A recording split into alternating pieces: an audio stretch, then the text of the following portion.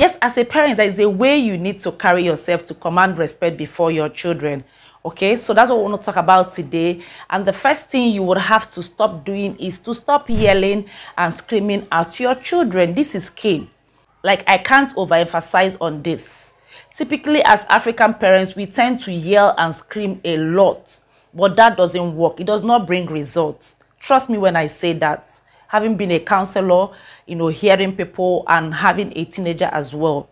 So when you yell and scream at your children, you are simply showing that you are not in control, that you are frustrated, that the situation is overwhelming. And I'm sure that is not how you want your children to see you. Okay? So it is better for you to manage your emotion. It is better for you to take care of the situation. Speak calmly, but clearly and firmly. Speak calmly, but clearly and firmly.